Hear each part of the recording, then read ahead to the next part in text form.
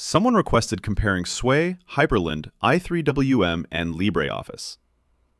Three are Linux tiling window managers. One, an office suite for documents and spreadsheets.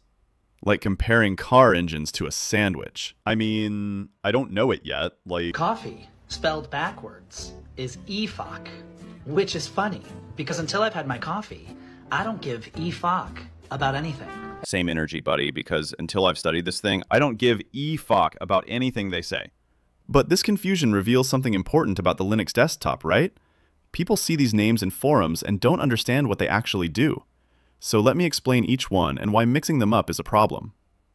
Tiling window managers automatically arrange windows into non-overlapping tiles. No mouse dragging, no manual resizing. Everything's keyboard shortcuts i3WM, Sway, and Hyprland all do this, but, get this, they work on different display protocols. Linux is transitioning from X11 to Wayland. X11 has existed since 1984. 1984. Wayland is the modern replacement. This matters because your choice depends on which protocol you need. So i3WM, right? The original for X11. Launched 2009, stable for 15 years. 15 years massive community, every problem solved and documented online. If you want tiling on X11, i3 is proven. Sway is i3 ported to Wayland. Designed for i3 compatibility, your config files mostly work unchanged. Same shortcuts, same workflow. Conservative updates prioritizing stability. Love i3 but need Wayland? Sway is logical. Hyprland is built for Wayland from scratch with visual effects.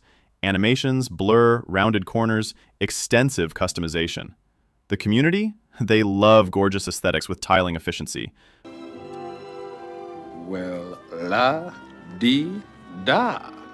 But Hyprland is bleeding edge. Frequent updates, occasional breaking changes. Listen, one developer used Sway four years. Four. Switched to Hyprland for screen sharing, then switched back within three weeks. Three, because presentations didn't work. Hyprland doesn't support all i3 layouts. Only default and dwindle. Need tabbed layouts? Install plugin HY3. Works until Hyprland updates and breaks it. I played these games before! I said I played these games before! Screen sharing has issues, right? Sway struggled with window selection for years. Years. Open issue since 2021. No solution. Hyprland handles it better, but full screen presentations on ultra-wide monitors? Problems for both. Display mirroring is worse. Sway doesn't support it natively. Bug open since 2018. 2018. Workaround needs WL Mirror tool. Hyprland supports it. Basic features require workarounds depending on your choice. All three are lightweight. Minimal resources because they're not running file managers, system trays, or desktop bloom. You install exactly what you need separately.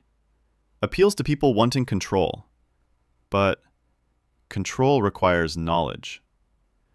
Manual configuration for everything. Status bars, screen locking, Wi-Fi connections through command line.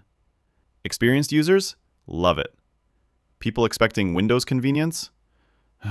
Overwhelming. VSync matters, right? Users report screen tearing disappeared on Wayland even with VSync disabled. X11 tearing? Problematic for years, years. Wayland fixes this inherently.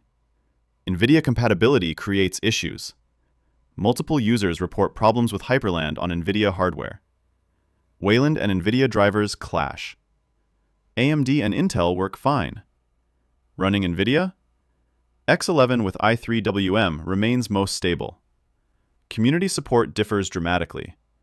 i3WM has 15 years 15 years of documentation. Sway inherits this. Hyprland? Smaller community. Discord described as non-serious. Wikisearch so bad people use Reddit instead. Emotional, damn it! now LibreOffice. This is where comparison becomes nonsensical.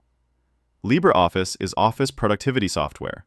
Writer, Calc, Impress, Draw, Base, Math software you run inside whatever window manager you choose. LibreOffice works identically whether you're using i3, Sway, Hyprland, GNOME, KDE, Windows, or Mac OS.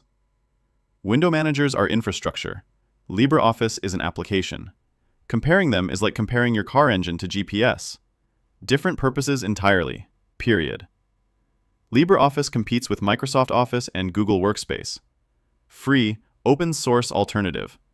Over 400 million downloads. 400 million since 2011. Germany migrating 30,000 PCs, 30,000 to it by 2026. The 2024 releases added features, right? Navigator improvements, new spreadsheet functions, faster XLSX opening, encryption, metadata removal. No telemetry unlike Microsoft 365. Interface feels dated. Memory issues with large spreadsheets. Excel macros not fully supported.